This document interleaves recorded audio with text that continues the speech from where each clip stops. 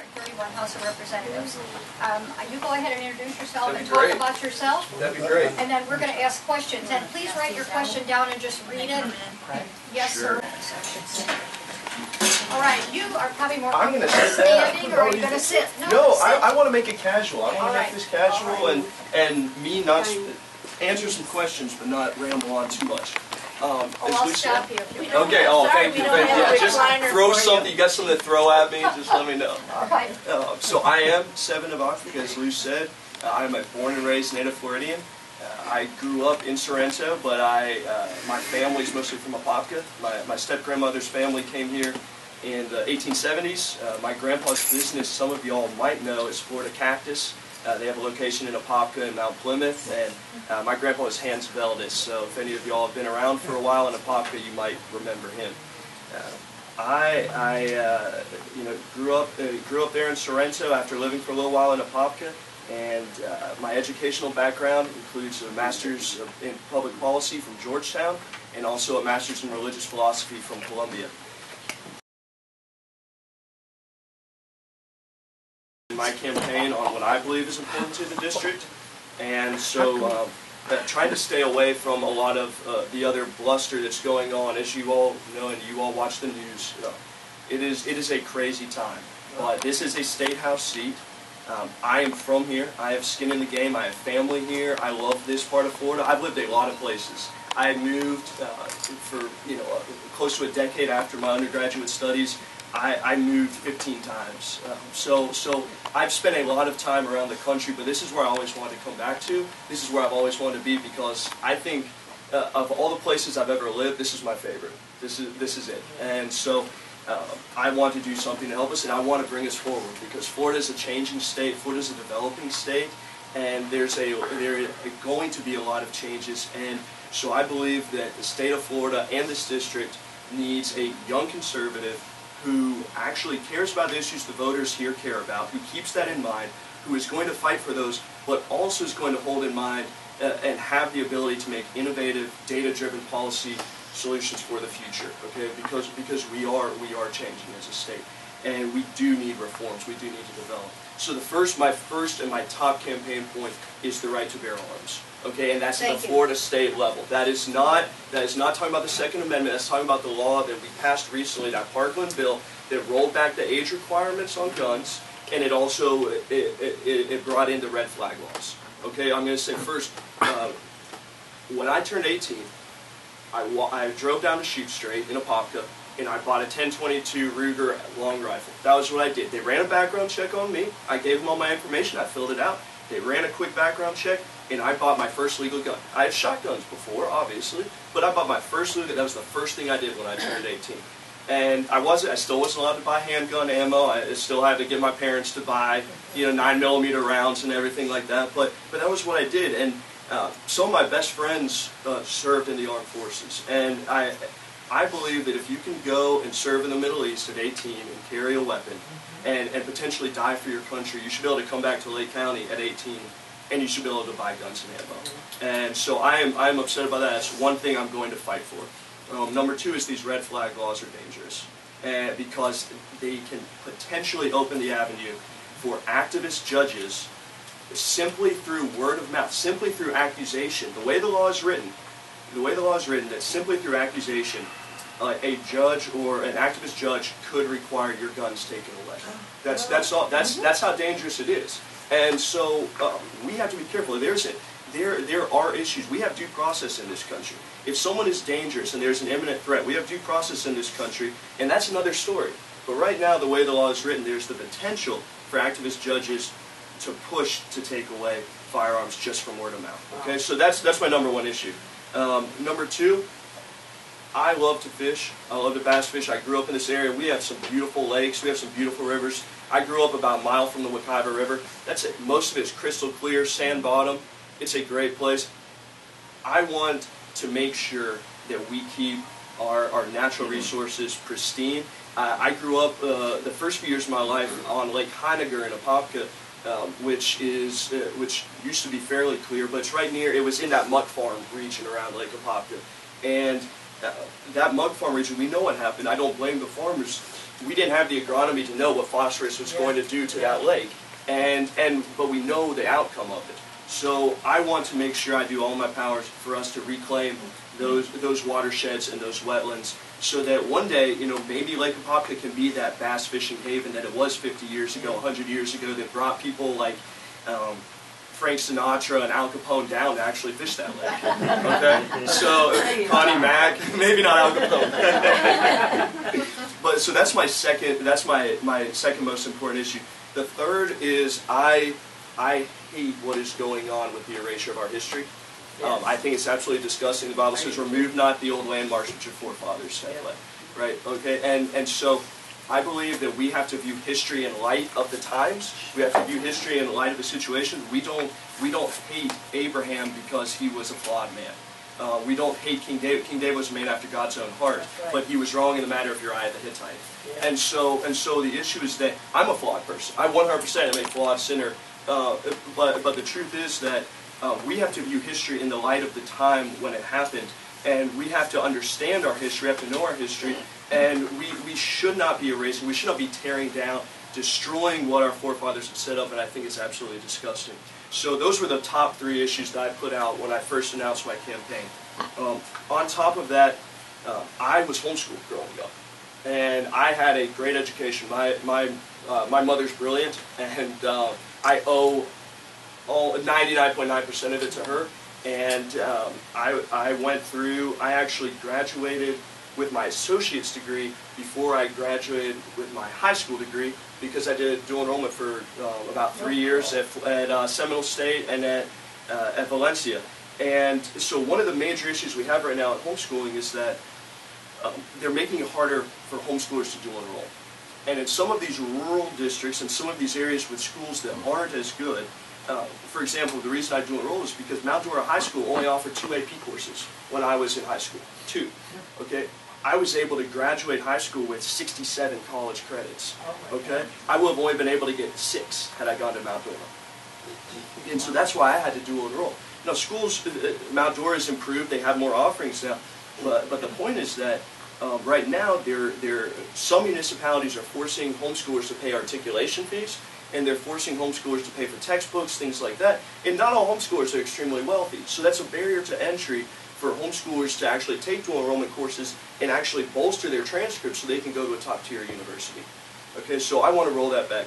Uh, on top of that, um, I want us to be able to use, I am a huge fan of vouchers for both private schools and homeschoolers. I want to expand that, and I want to expand and incentivize educational savings accounts because I want people to be able to, I want families to be able to use that tax credit, that voucher, that savings account for homeschooling.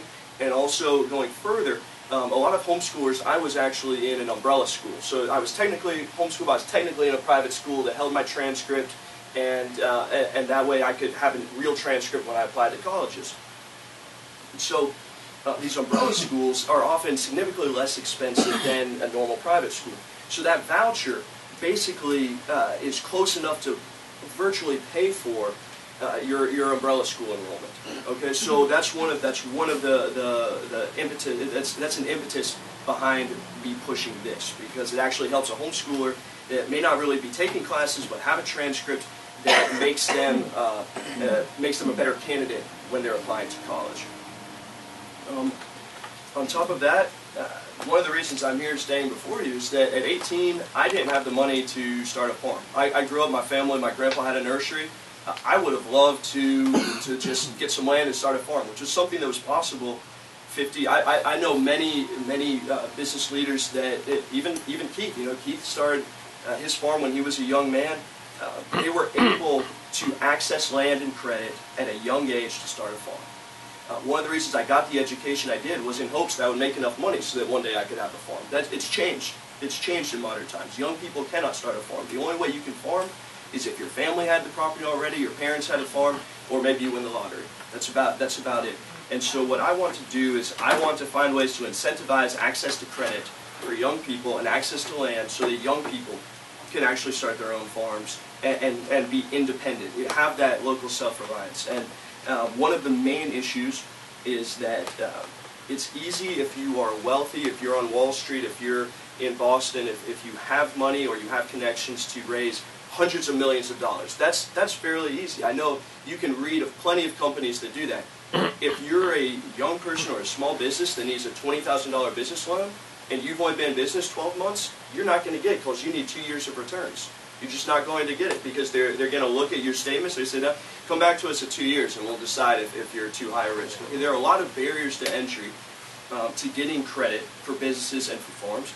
And uh, on top of that, you know, there's a lot of red tape for small banks and small credit unions that, that want to make those loans, but because they don't have the army of attorneys like a big bank does, it just it, it just is not profitable for them. Okay, because it's it's it, it's spread out for the big banks. It's spread out over so many loans and so many people. And so what I want to do is is incentivize these small banks by cutting red tape and finding other listening. Obviously, I don't have all the answers. Okay, but I want to listen to these small banks and small credit unions tell me, hey, this is what's keeping us from offering these small business loans and these small farm loans. Okay, and that's what I want to that's what I want to fight to take care of. Um, and then the fifth thing, or sixth, I don't know where I am at this point. I've, I've kind of lost count, and I, and um, and I want to keep it short because I want you all to ask questions. Is uh, there's a concept, there's a, a Christian philosopher, regard, the, the name is, is Lebanese, Nassim Taleb, and, and he talks about this concept of anti-fragility. Okay, and what that means is um, it's something that grows stronger in the face of adversity. Okay, and what I want for our communities is I want our communities to be anti-fragile. Okay, what we've seen with this COVID-19 issues, what we've seen is that um, we didn't have PPE, right? In this country, we just did. We were importing it all from China. We didn't. We weren't making it here.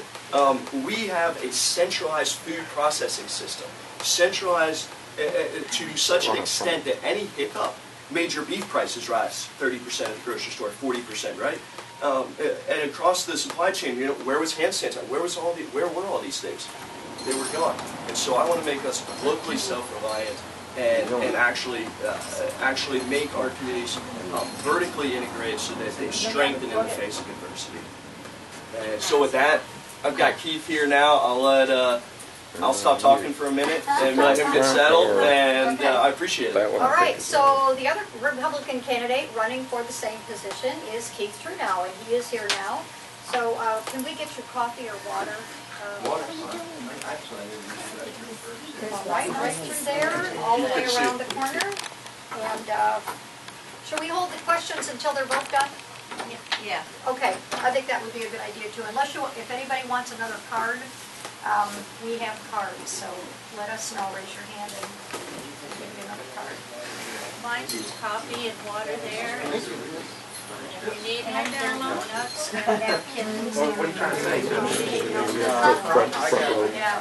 We have another candidate in the room too, several actually. Good Uh, guy here. Mike Garcia is running for school board. He's in the same race as uh, Sandy Campbell, same seat. And Barbara Price is seated on the North Lake Hospital District Board. She's back there. She's not running for re-election yet. Anita is going to be in that race for the North Lake Hospital District after the primary, and Sue Hooper is also in that race. So we're one of the two Republicans on the North Lake Hospital District Board. And there's Miss Velma Dawson. Hello, Velma. Hey, how are y'all doing? We're doing great. Would you like to write a question? If you, would you like to? County Farm Bureau is another one. And, and I'm the youth committee chair at this point, but we, we work to, uh, we work to, um, create an atmosphere that, that the youth of this county can, can use and utilize. I also sit on the Harris Chain of Lakes Restoration Committee, which is appointed by the, uh, governor. Governor then Rick Scott was appointed me to that position. So I, I sit on that position for a reason. I sit on it for not only an agricultural outlook on, on the lake system or, or the waterways or the quality of water. Or, I, I look at it from a property owner. I own a lot of property and, and you guys own a lot of property here and you want to preserve our natural resources and I believe it's a, it's something that is endearing to me because I care about this community. I care about how it's gonna be and what it's gonna turn into. So, moving forward, um, my concerns are your concerns because I've lived it. I'm real. I'm here. And I, I want to listen to what you guys have because I have faced many, many issues and processes and regulation and, and you know, trials and tribulations right here. Mm-hmm. And, and I'm, I'm, I'm willing to go to Tallahassee and do the same. I mean, I got a lot of stories, but we can, we can just, I'll take some, we'll just take questions. Want questions? All right. Well, we'll start with you. and Then we'll, you can answer the same question. okay? Sounds good. All right. State awarded grant funding. When a crisis comes along, it requires legislative action to extend, uh, extend, yes, extend what? Spend down. Spend down here. Spend down. Okay, not, not downtime. Spend down here. No, I got it, all right. And the question is, is there a provision put in place to allow extension without legislative action and allow for easier accounting when that extension occurs in the next fiscal year? And it's not is there, can there be? Yeah. And now, give me a little bit more background about this Okay, you Shay, go ahead. Um, I sit on the governing board for Mid-Florida Homeless Coalition, and I know this is quasi an issue there, but with any state grant funding, typically, the cycle will end at the end of the fiscal year.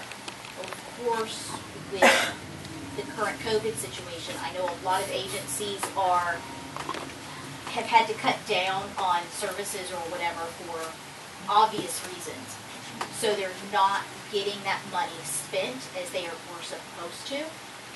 Not because they're not doing their jobs, but their hands are tied. So is there a way in times like this, and, and to, to extend, uh, the spin down of that grant funding requires legislative action to offer an extension to an agency that requests it. Is there a way to put a provisional or some template writing in place, so when something such as this happens, it doesn't necessarily uh, require a full convening of the legislation, legis- legislative body. And one of the reasons that it's hard to get an extension is it makes that funding that you were supposed to use for that fiscal year extend into the next fiscal year, and it just mucks things up. Is there a way to create some parameters that allows the accounting of that grant funding from the previous fiscal year so it doesn't muddy things up. And uh, I, again, I know one of the other concerns is that if we show, if we can't use this money, they don't think we need it. Well, that's not the case. Our hands are tied in some situations. Where it's not that we don't need it, we just physically can't. And that's not an issue with Mid-Florida, but with other agencies it may be, or with other avenues of state funding it may be. Okay.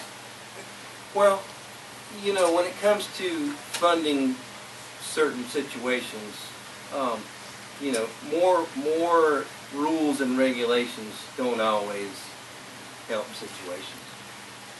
Meaning, it, could complicate, not only would you want to help this initiative, but another group may take the same legislation you created to extend theirs, and then all of a sudden we got more problems. So I, would say that simpler is better.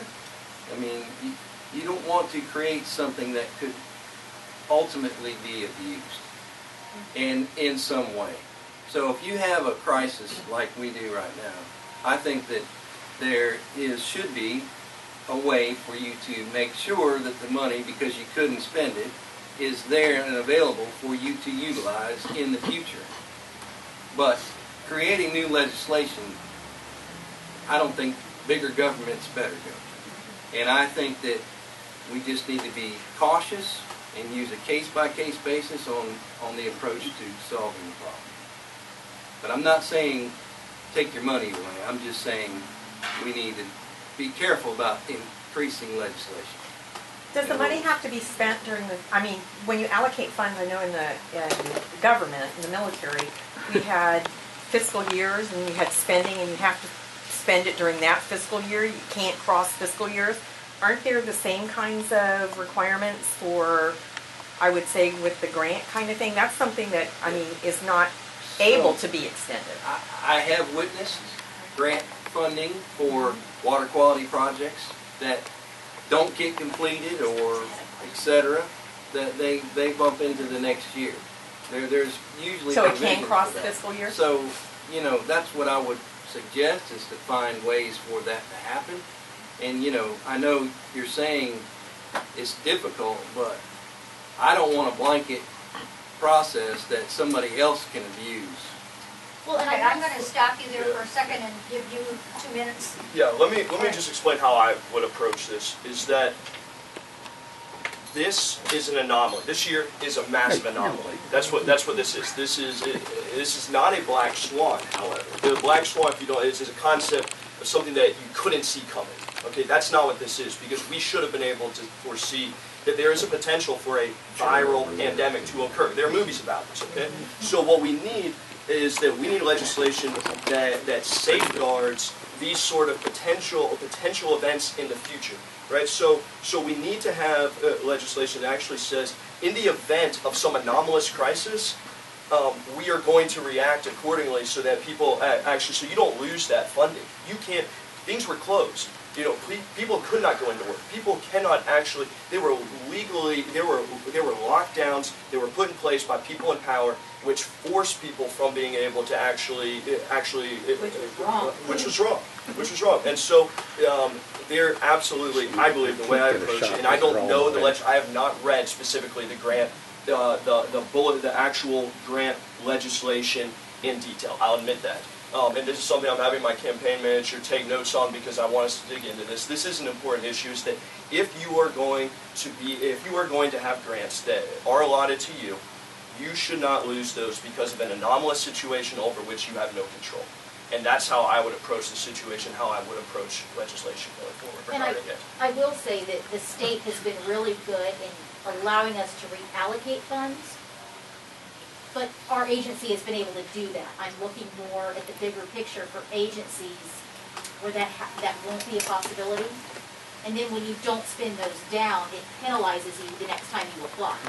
Okay, I gotta move on, Chick, sorry about that. Ding, ding, ding. Um, okay, I'll, I'll let you go first this time. Uh, Sounds good. Stevan, uh, position, what is your position on land acquisition by state and property rights? Mm, mm, that's good. So my chief campaign advisor internship was uh, this eminent domain law firm. Uh, there is a serious. So I would say I have a background in, and my campaign has a connection to fighting government overreach when it comes to land acquisition. At the same time, I grew up around the muck farms in Lake Apopka. So I remember as a little kid that when they reclaimed all that land, and, and that was a huge issue because my parents like, how dare they take that from the farmers? At the same time, um, that was the only way we could have a chance at somehow salvaging Lake Apopka at the same time. So, so there is, there is. It's not so much a gray area, but there is, there, is, there are two sides to this coin where I want to protect our natural resources. I want the state to buy land that is at risk, that is precious to us. At the same time, I want to stop government overreach because not all land is equal. Some land is more suited for development.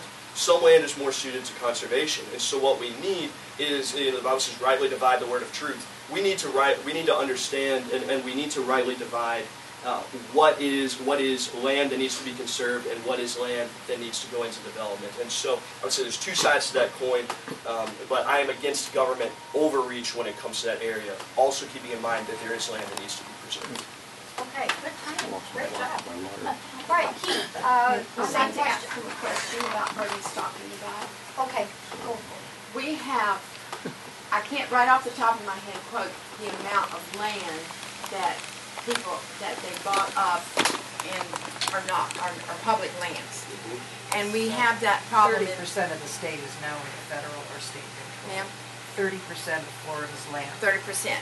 So is already every in time conservation. we had people come in here, mm-hmm. now that muck land, Yeah. because I knew the people that owned that, and he was forced out. Yes, he was to was. sell that. Yes, he was. And I'm sorry, but there were threats, and all of a sudden, he was killed. Now I'm. s- Yeah, I you say, didn't oh, know you're a, you're a, uh, you're Conspiracy a theorist. conspiracy theorist, and I just don't think that was strange. Well, I haven't And- looked into that. I have not looked into his, his Yes, death. all I of a have not. sudden, yeah. And they forced the family up into South Georgia. Interesting. And they still want to be farming, they love that. They- Absolutely. They have, they have, um, uh, history of many, uh, generations. Yes. But, and they told us a lot of lies, and I knew they were lies when they, when they started it. Uh, they tried to say that that family, uh, was polluting. Well, okay, yes, you say they didn't, we didn't know about what was happening, eh, because they started that in World War II to feed the troops and feed Absolutely. people here. Yeah. And then they told us, oh, they were killing this, and that, and the other thing. Well, when they went in there and took it, over 200 million birds died Yeah. when they did that. They weren't salvaging anything, so I don't trust them. But anyway, go back to how much of our land is, um, in the, just Florida, Right. has been taken, every time they say, well, we've got money to buy this and we've got money to buy that. Who's got the money to buy it and why are they buying it? And why are they taking it out? You take it off the tax rolls, you take it off the ability to produce something. Right. You have to have a reason. And I know, um, some of our county commissioners have tried some land to sell some of that land, to take, to get it back and to use. And so I, I know it's a, a pull of all directions, but if you really understand agriculture, and I think both of you do, you would have a better insight into which lands really could be put back into use and which lands could, should stay in a, uh, a pristine or something. But people, you know, they're threatening to go, to go into these lands out in the southwest. You can be Diane, you arrested got a for walking. question? You got a question in there somewhere? Well, I'm just, I'm just saying, what would they do Just about succinctly, it? just succinctly, let me, let Yeah. me tell you, like I said, not all land is equal. Yeah. Okay, and so I agree that there is some land out there that is not preserved that needs to be preserved. Yeah. And there's land that's being preserved that needs to come back into the Yeah. system. Okay, and so that's where I am on this, and, and I want to listen to the constituents to say, hey, Stevan, this land, this pine, this, this pine woods, this we can put back into agriculture, okay? Mm-hmm. And, and you know what? This basin by the Wekiva River, that needs to go and be protected. And so that's, that's where I am on that, and that's how I will philosophically approach the issue. Okay, Keith, I'm gonna read the question again. What's your position on land acquisition by the state and property rights? Well, land acquisition, if done properly, is, is, is a tool, like many tools in the toolkit. You have conservation programs, you have needs for infrastructure, for roads and bridges and all kinds of good things. So I was part of the buyout in Zellwood, right? I worked for LSF Wilkinson Farms at the time, and we were part of the situation at hand. Now, it was an easy thing to do. You carry a big stick, you have a lot of money, you buy the property. Easy, done.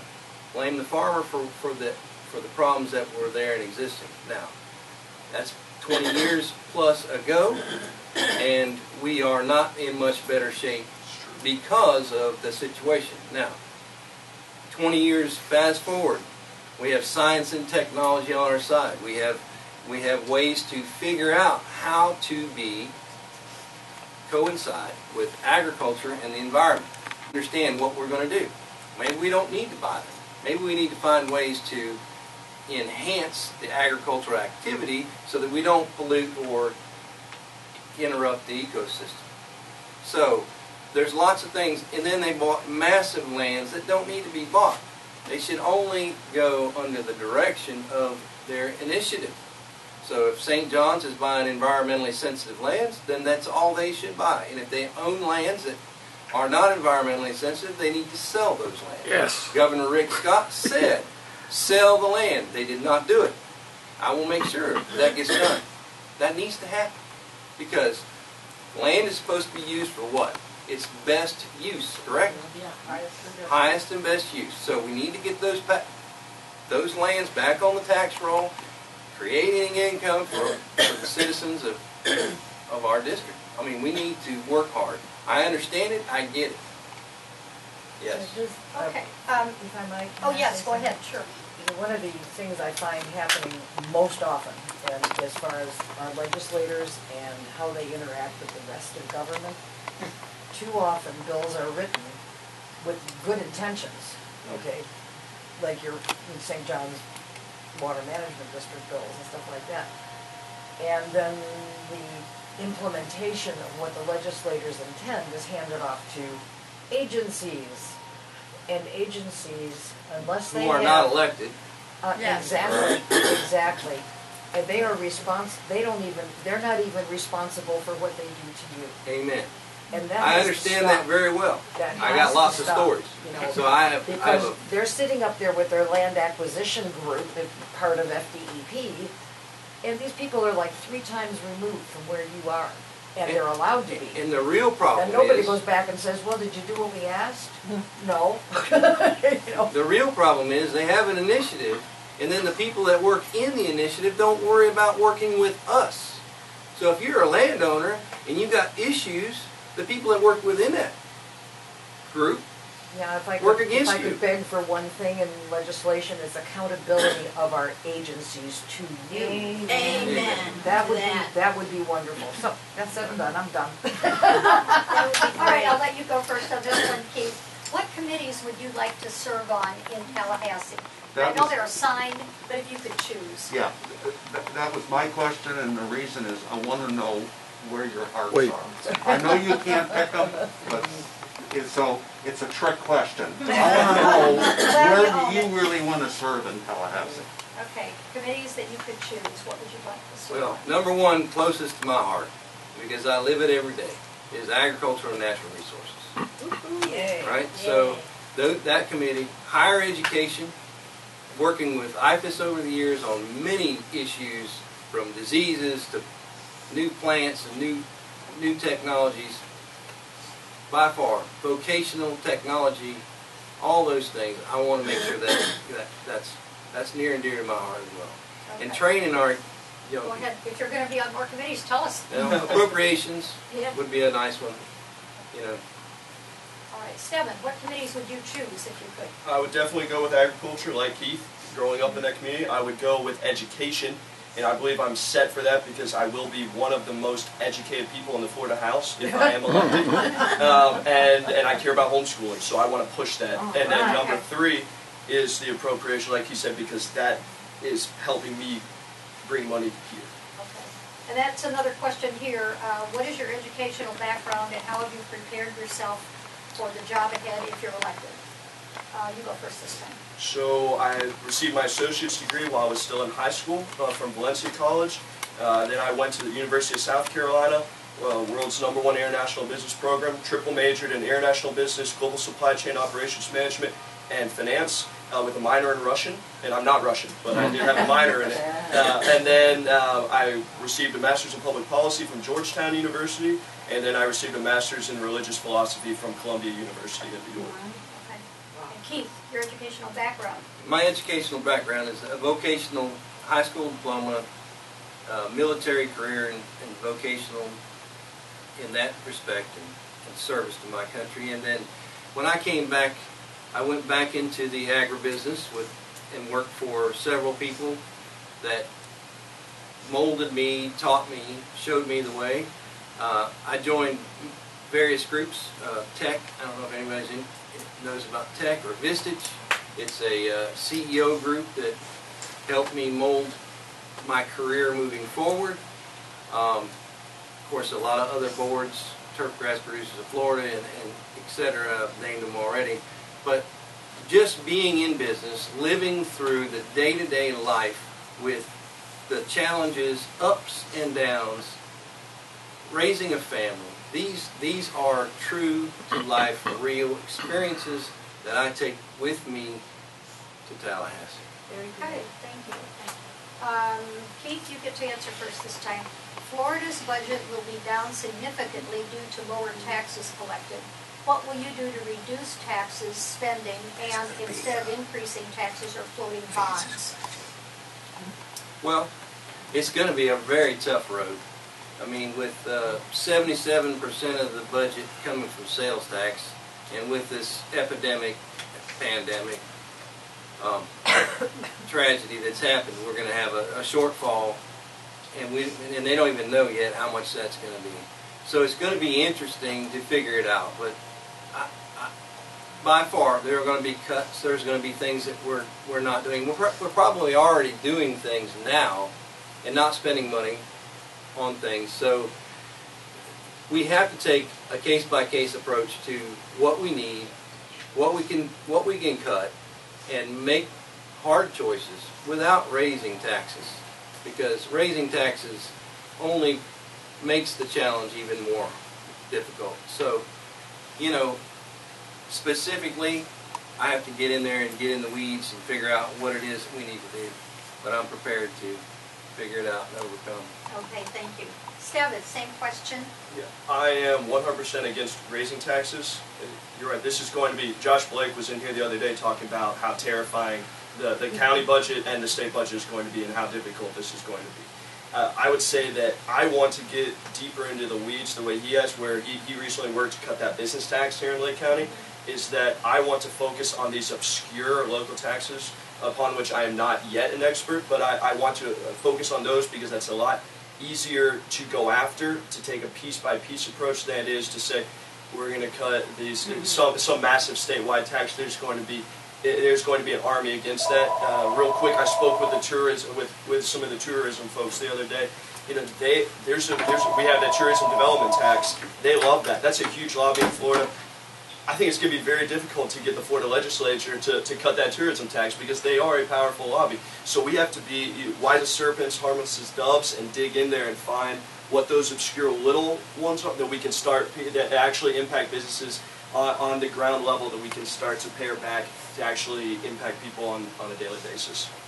Okay, just, I, I submitted that question and you, t- you said talk about city taxes.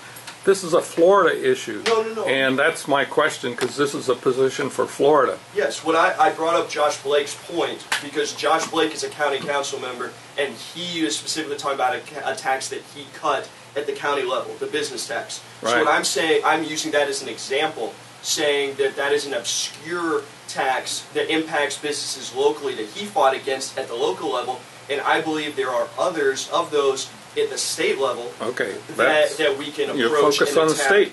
I am Okay. focused on the state, and I do know this is a state level race. I am not talking about me going in and, and taking care of a Tavares City Council because I am not running for Tavares City Council. There you go, that's the Okay. point. So Okay. I apologize if I was not clear enough in, in that Yes, answer. George? One of my questions is a good follow-up, I think. Okay. Real quick, instead of the taxing side, the spending side, mm-hmm. is there any part of the state government that you would like to see reduced or even eliminated?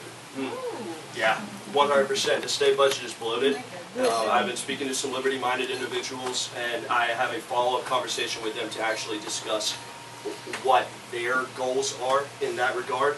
Um, you know, my hope, and, and this might uh, be an issue, is that uh, if we can expand homeschooling, maybe we maybe we can reform some of our educational spending. Oh, boy, yes. So, so that is one area, and, and I am not coming out against. Uh, I, I want to. We want to expand as much. Uh, uh, we want to support education. I want to support education, but if we can expand homeschooling, that obviously reduces costs. So I would say that's one area where instead of instead of me being someone who's just coming out cut cut cut, what if we can expand some programs that by virtue of expanding them, we it, it, it necessitates a decrease in spending. I have a question. When you say expand homeschooling, does that include like Florida virtual or are those Sure. two separate? Sure, uh, they are separate. They are separate, but they but they are in the same vein as in you know if more children studying at home, um, obviously necessitates and, and and and ends with a decrease in, in spending for these for these places for the for schools. So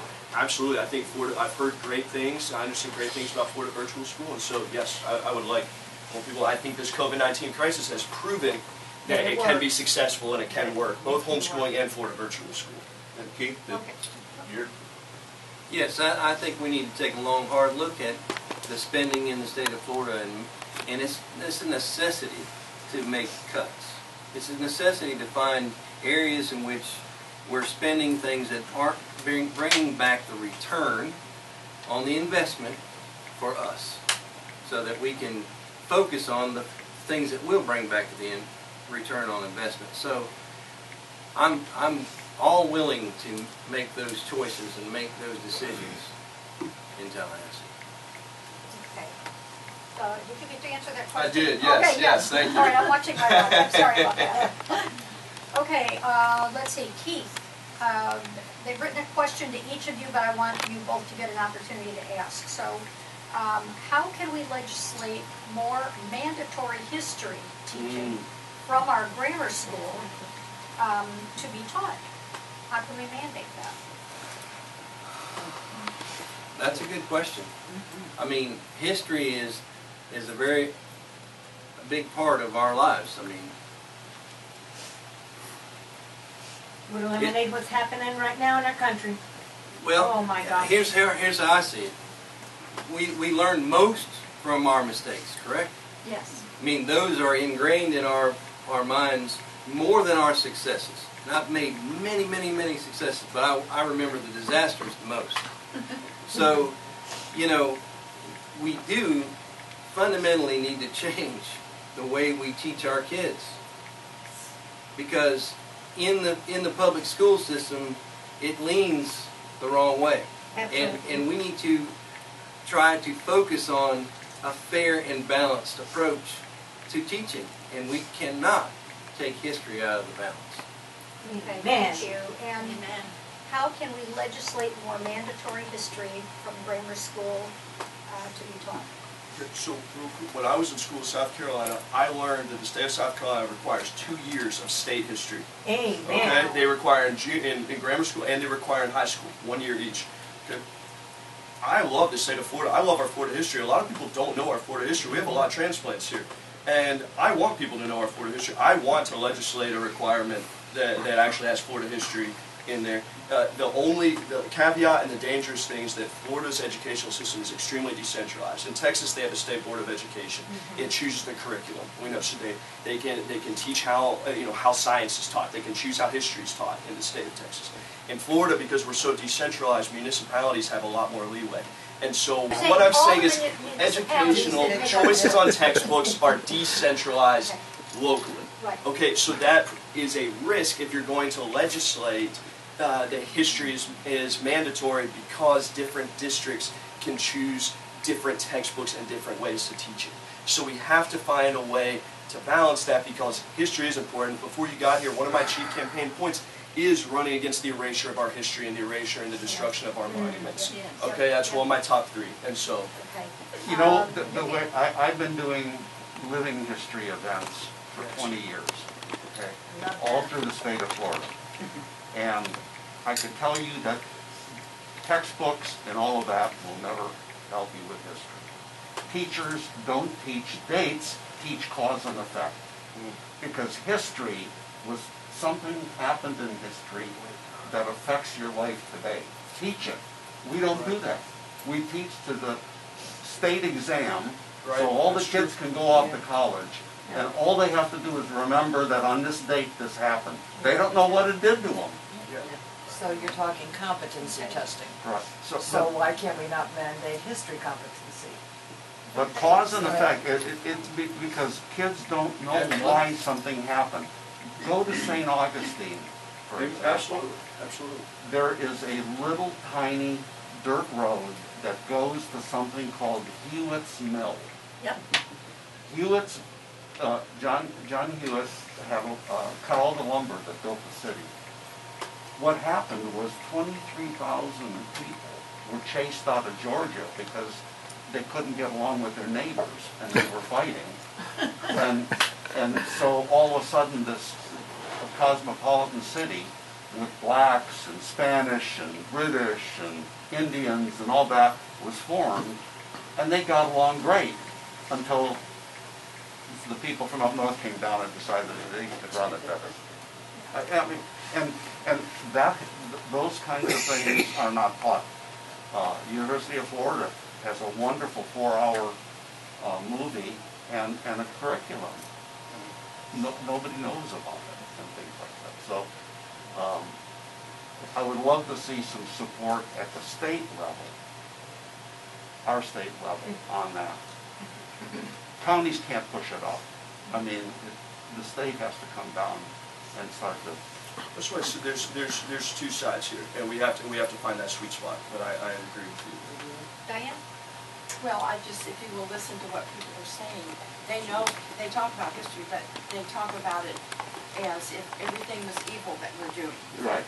Everything was evil. They take the good, the bad, the ugly that we've always known, but they put that ugly side to it and they don't care. That Just like that, Abigail is uh, doing that, that book that she's written. Yeah. Is that her name, Abigail? No. Uh, I- Yeah, I can't- but- White for White for Jiminy. Jim. That's it, Yeah. that's it, that, that's And they're gonna put that in K through twelve. They See, want to and- do it. And I think that's wrong, I'm sorry, it's wrong. Well, what about our Board of Education? Is that county or do we do state? We've got to look at our books I and think we've got to both. say, both. I agree with you, I agree with you. She spent a million hours sitting in school board meetings, a million hours, bless her heart. Yeah, she's a And, good uh, resource.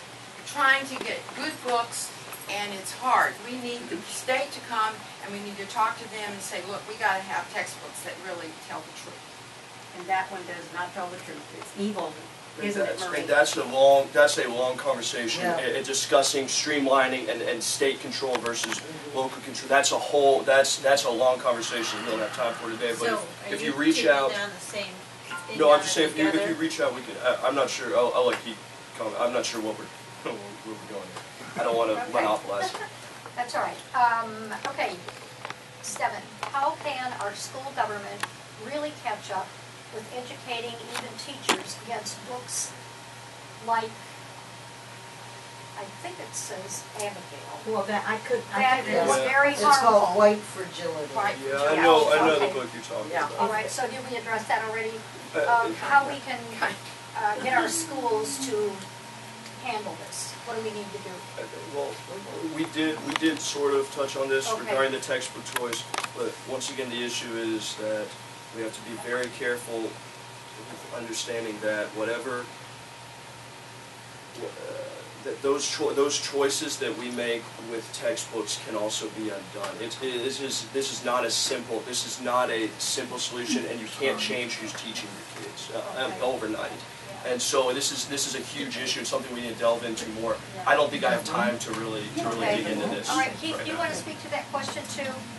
Again, it comes back to fair and balanced uh, teachings about the, the truth of what, how we, we were formed, how we've gotten here, the trials and tribulations of everyday life. And so we need to focus on making sure that the curriculum states the facts. So we need to move towards that somehow, and I'll, I'll work to, to help to do that. Okay. May I say this very quickly? Sure. It doesn't matter what we teach our kids, if we have damaged families and damaged students and don't address things on that level, it doesn't matter what we teach them Yeah. and what we advocate for. Sure. So I don't know how you fix that, but We advocate for strong families. Yeah. Absolutely. yeah. Florida does.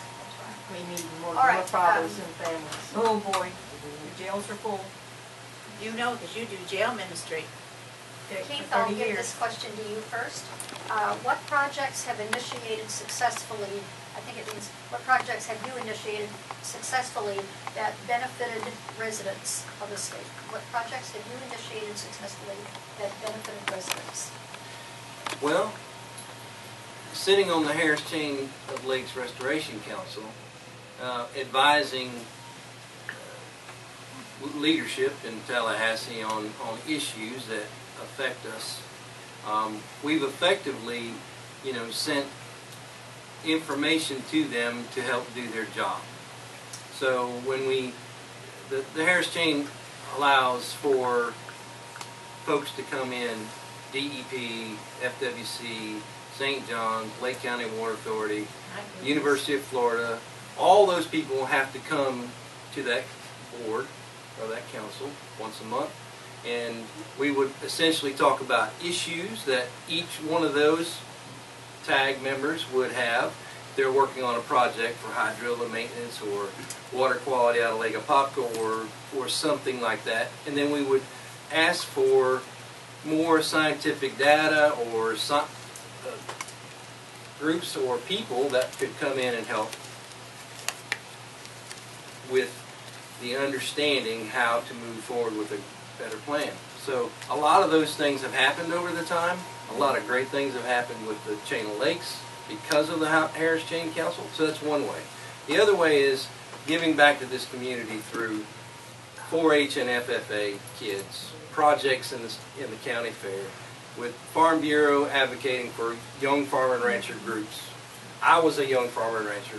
I was Young Farmer and Rancher of the Year in 2003, picked by Florida Farm Bureau. My family, Dodie and I, were, were the Farmer and Rancher of the Year.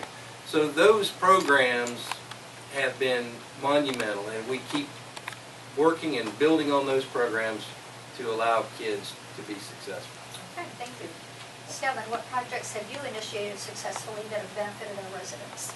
So, so since Keith brought up uh, Young Farmers and Ranchers as well as 4-H, I also, I grew up in 4-H. I grew up, uh, I've, I've spent time in Young Farmers and Ranchers. I've also been involved with all of that. What I will say is I served on the Alachua County Rural Concerns Advisory Committee. So well, it was an advisory committee, it's now a legislative committee. And, uh, uh, but we worked on, on uh, access for high-speed internet to rural communities. And, and that's not a major issue so much in this district, but that is a major issue across the state for rural areas with people, for both businesses and for educational purposes, for families that don't have access to high-speed internet that severely holds back the economy and also education. And so even though it's not an issue that is directly uh, about, I think it's around 94% of the district has access to high-speed internet. Okay, so uh, access, not, doesn't have it, but access.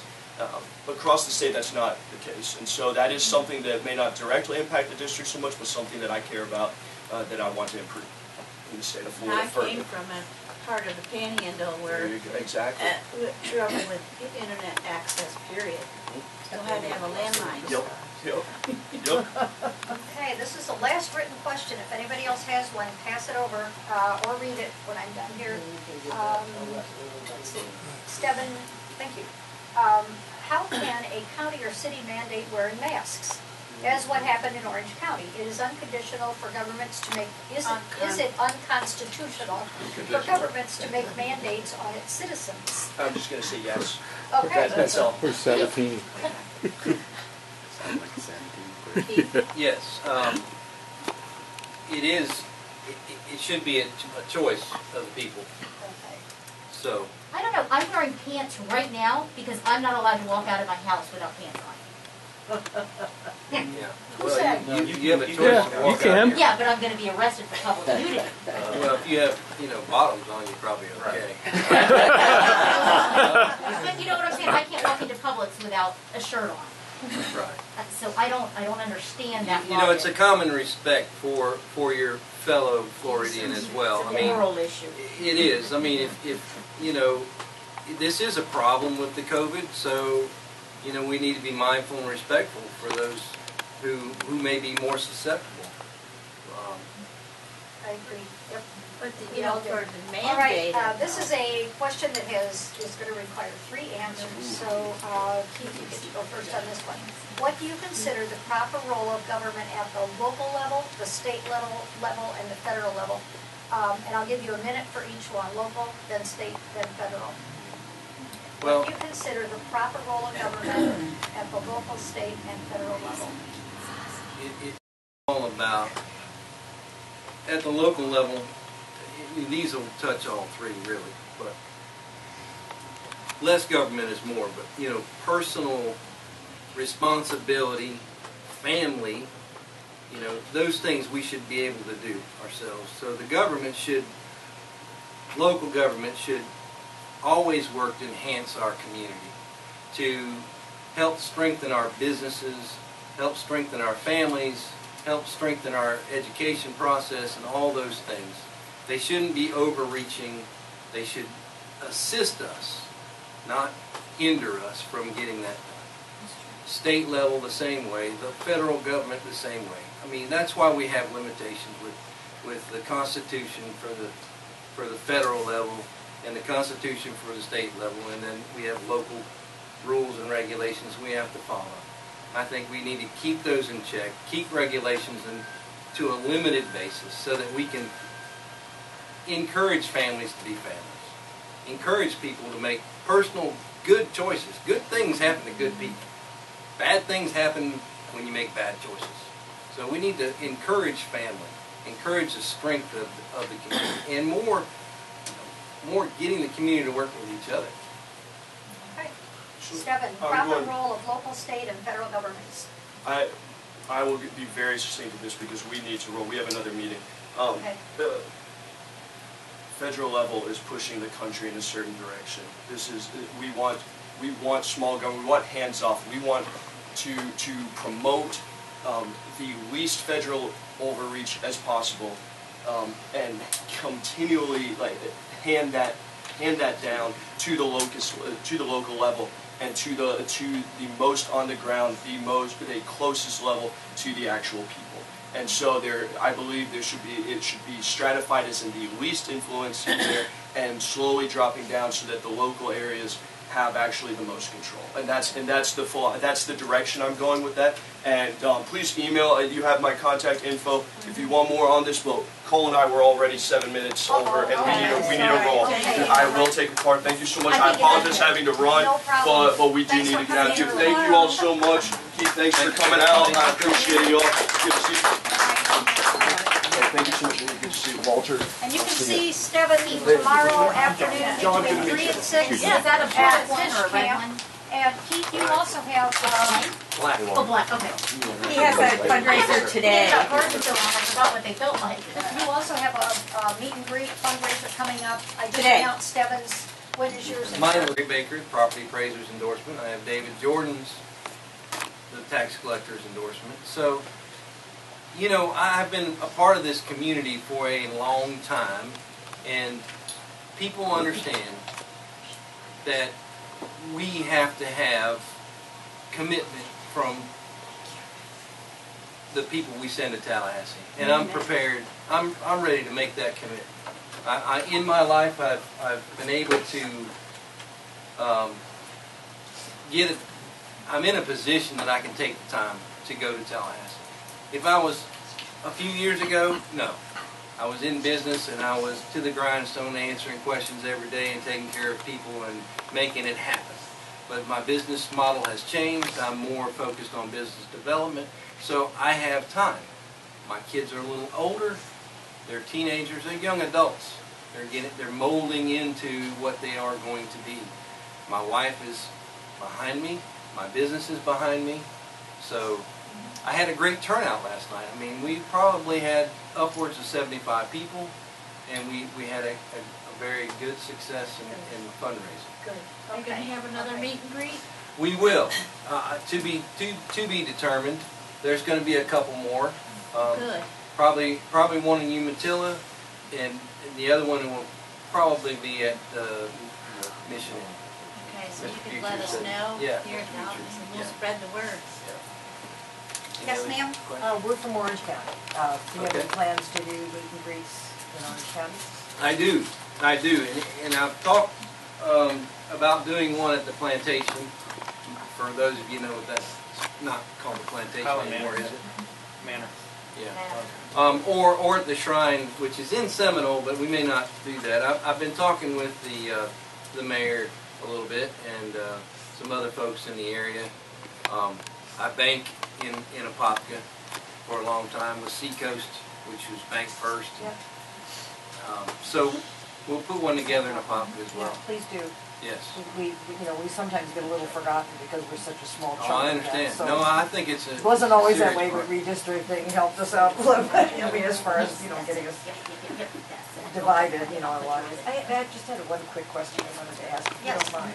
No, go ahead. Um, I've been very concerned, uh, having volunteered in the schools and the elementary schools and stuff like that over the years. Um, I'm very concerned about what these kids are gonna come back to school with.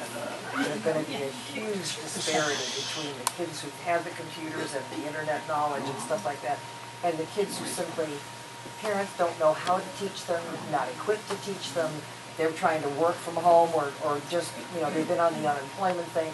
There's gonna be a huge gap, a knowledge gap for these kids, and I don't, I wondered if you thought maybe there might be a way to, um, would, if you're in the legislature, how can you impact that reentry for these kids so that they can all get brought back up to speed again? That may require some additional educational funding with some directives or whatever, but, you know, it scares me to death to think what these kids have not been learning since they've been out of school. I, I understand, so mine, mine have been at home too, so it, it's been a, it's been a struggle in both, so I'm essential, my wife's essential, so we, we work too. So, you know, for our kids to be on computer and do the things they need to do has been a challenge. Um, but they're also doing FLVS during the summer to, to do a, do their, do an extended class, right? So, but I understand there's folks that don't have access to internet properly and, and other things.